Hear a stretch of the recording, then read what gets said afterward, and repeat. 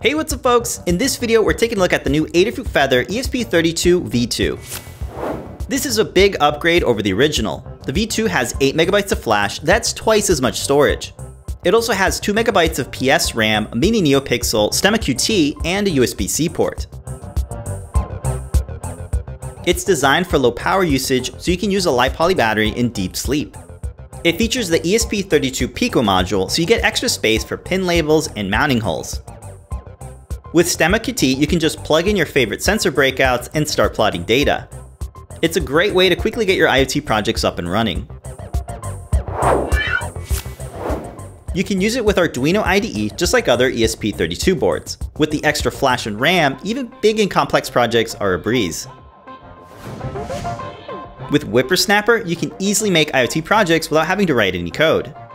Just install the firmware with a Chrome-based browser, and now your Feather will appear automatically in Adafruit IO.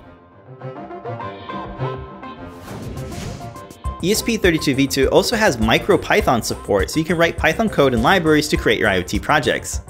Follow along with the Adafruit Learn Guide to install and set up your Feather ESP32v2. So what type of IoT projects would you make? You can let us know on Discord and share your projects on Adafruit Show and Tell. Thanks for watching and be sure to subscribe for more videos from Adafruit.